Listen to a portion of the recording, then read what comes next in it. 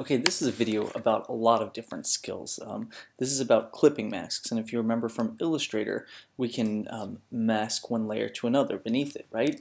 So we only see the part that um, you know attaches to that layer. So, so let's look at that. We have these penguins here, and so I'm going to go ahead and make a copy of penguins, right, because I don't really want the background copy. Um, I'll even just trash the background copy. Um, so I'm going to change the text here, and uh, right, just like Illustrator, I can type some text, right, and I'll type penguins. Now I'm going to go into free transform and make it bigger. And why can I do that? Because text is actually still a vector object, even in Photoshop. Even though Photoshop is mostly a raster environment, uh, it can handle certain vector objects. And we'll see that a couple different ways here. So I have this, and um, I want the penguins to mask to, to this. So I'll drag the layer above now, there's a couple ways to do this. What I generally do is right at the seam of two layers, I hold down Command and Option, and you notice the cursor become like this. Another way to do it is to control click or right click on the layer and say create clipping mask, right? And so now you see here the penguins, I can and I can move them independently, right? But they stay masked to this text. Um, same here, I could go move the this around, right? Um, so, so what this is, I, have done a mask, right? And this is nice and handy. Now I can do all kinds of things here too. I can, um, you know, we learned adjustment layers. Maybe I'll take the hue saturation, bring it down all the way. Maybe then I'll add a, a solid color and I'll turn it, uh, I'll make it this color and uh, change that blending mode, right? And now um, there can be a problem if you have a lot of layers beneath. If you need to make it sure it stays to that layer, you can go in and, and mask each of these layers so that they only stay on. So you saw that it was really imperative with the color fill that we wanted to just keep it on the mask. So if you notice in the layers palette, you see this little arrow pointing down, right? Um, and so we can do that. Uh, now, uh, what other interesting things? We could do tons of interesting things once we go through here. Um, so this is layer masking. You could stop watching the video now, but if you want some extra skills, um, here, are some, here are some. Um, so one thing I could do is I can make a copy of this. So I, I hold down shift and I grab all these layers here and I'm going to make a copy and I'm going to merge these two together. Right click merge layers or command E is the quick key.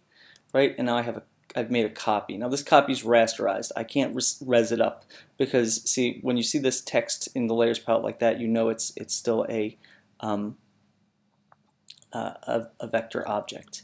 And I could do something like image, image rotation, flip vertical, right? And I can start turning it into a, a, a drop shadow. Move it down below.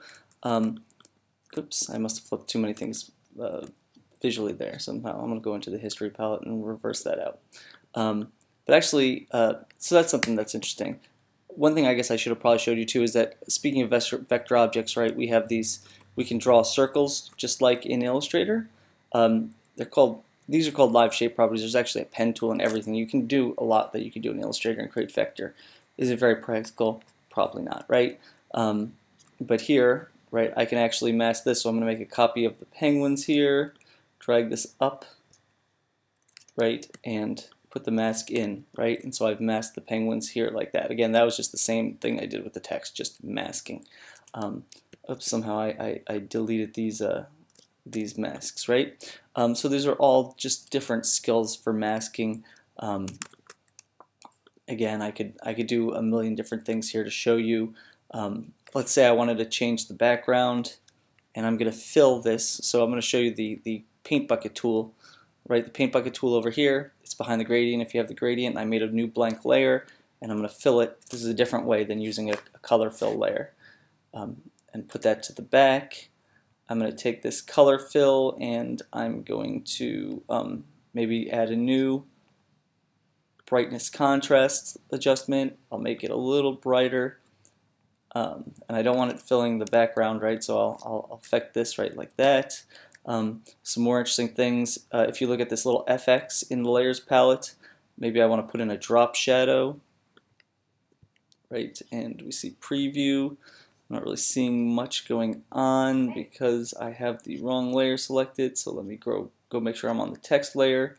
And now let me go to drop shadow, right? And so you start to see this drop shadow. Maybe I'll hit bevel emboss. And if you notice the, the changes on the thing here, Um, lastly, I'll, again, I started to do this, but then I, I wanted to show the shapes. I'll drag these all into the new layer, hit Command E to bring them down, to show you that it's different. Edit, transform, flip vertical, right? I'm going to move this layer down below, right, so it's over here.